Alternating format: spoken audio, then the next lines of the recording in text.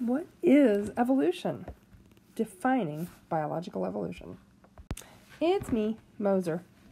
After this video, you should be able to define biological evolution both in terms of changes that happen in a species over time, as well as in changes of the genetics of a species over time. You should also be able to identify a phylogenetic tree as showing the evolutionary relationships between species. You should be able to recall that living things have been on Earth for most of its history and recognize that species evolve, individuals don't. Are you ready? Let's go. You may have heard the word evolution before. It may bring many things to mind, from monkeys and humans to antibiotic resistant bacteria, from peppered moths to Galapagos finches. So, what is biological evolution? Hmm. Biological evolution is simply the fact that species and populations change over time, and that those changes are passed on to new generations. This is different from the changes an individual goes through in their lifetime. I just had to get a cute puppy picture in. That's growth and maturation. The fact that species change means that very often the next generation is a little different from the one before it, from its ancestors. That seems pretty simple, right? Have you ever stopped to marvel at life on this planet? We have got cool, weird, amazing, hard to believe stuff living on this strange little rock. The modern theory of biologi- biological evolution explains how that amazing diversity and abundance of living things on this earth can all share a common ancestor, and how small changes can really add up given enough time. The first living thing on Earth would have looked a lot like, well, a modern bacteria.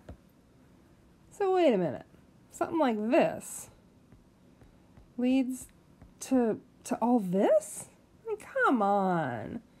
Sure, living things could look different from their ancestors, but really?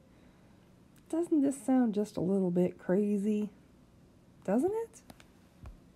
Well, what about this leading to these. Still crazy? No? Does that seem a little bit more reasonable?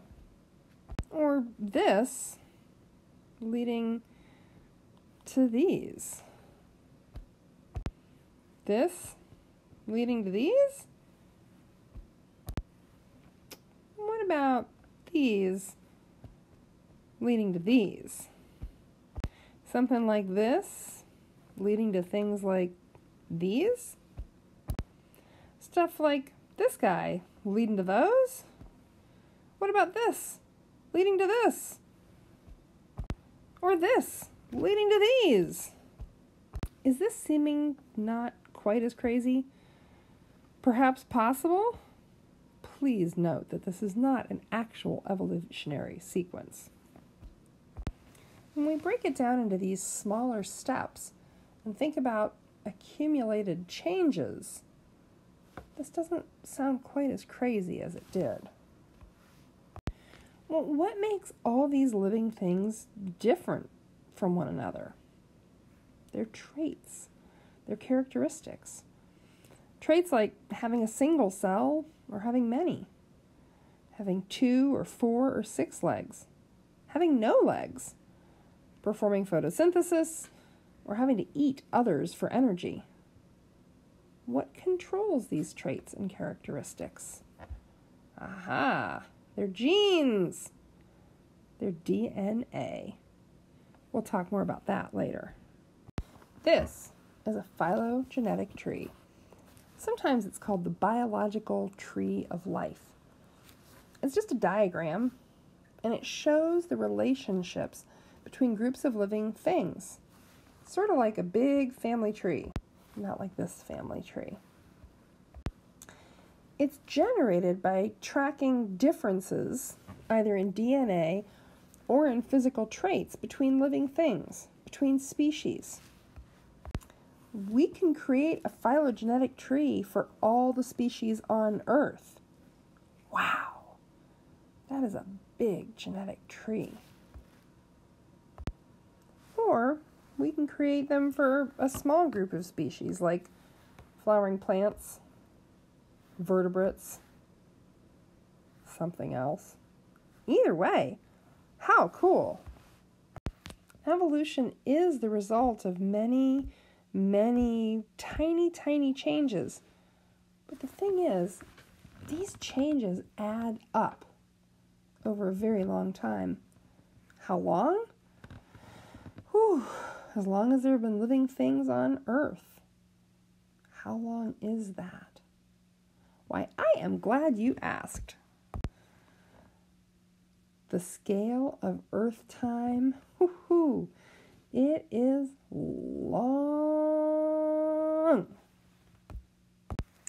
Earth formed about 4.6 billion years ago.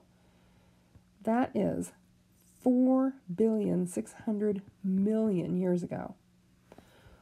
It wasn't the nice looking place it is now. It was so hot to start off with, there wasn't even liquid water. It took a long time to cool off. How do we know this? Well, we know that it formed 4.6 billion years ago because of chemical testing that has been done on rocks from both the Earth and from the Moon. There's a link in the grid for more information if you're curious. First evidence we have of primitive living things is between about 3.7 and 3.8 billion years ago. Again, 3 billion 700 million to 3 billion 800 million. The evidence comes in the form of a type of carbon molecule that's really only produced by living things, and we can find it in rocks of this age. If you're curious, it's called biogenic carbon. And boy, those pictures are not exciting at all. The first clear evidence of living things that we find in the form of fossils show up in rocks that are 3.5 billion years old. 3 billion 500 million. They're called stromatolites, and they're fossilized mats of bacteria that trapped sediment. They leave very distinctive patterns. They're still forming in some places on the planet, but we have fossil evidence of very, very old ones. We don't see any direct fossil evidence of animals until 600 million years ago. Million! We changed units! and they sure don't look like anything we'd think of as an animal. Boy, are they weird.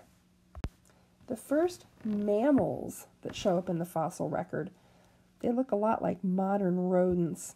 They're very small, and they show up 300 million years ago. They actually were living at the same time as the dinosaurs. Ha ha! Go team mammal! Well, we know who won that one we can trace a modern species such as this one, or this one, or this one, or this one, or this one, this one, all mammals, back to that very first mammal species. So, what makes all those mammal species similar? Well, their traits, their characteristics. They're heterotrophs. They regulate their body temperature. They nurse their babies. They got fur. There are some more. What causes those traits and characteristics? Yeah, their DNA, their genes. And what makes these mammal species, or any other species, different from each other? Well, their traits and characteristics. What causes those traits and characteristics? Their DNA, their genes. So, what is evolution? Well, it's inherited biological change in a species over time. It's going from looking like that little shrew looking thing, the first mammal, to an elephant. It's changes in how often a trait appears in a species. If we dig down under that, it's really changes in how frequently a certain version of a gene could appear in a population. Because how often a trait appears or how frequently a certain version of a gene appears, those things change species. You got questions? Write them down. We're just getting started. Hopefully, we'll be able to answer all your questions in the course of this unit. So, for right now, let's just review what you should be able to do. Can you define biological evolution both in terms of changes in a species and changes in the genetics of a species over time? Can you identify a phylogenetic tree and do you know that it shows evolutionary relationships between species? Do you remember that living things have been on Earth for the vast majority of its history? And do you recognize that it's species that evolve, not individuals? Aww, gratuitous cute puppy picture. That's not evolution, though. All right, fantastic. Go on and do your recap, reflect, and review.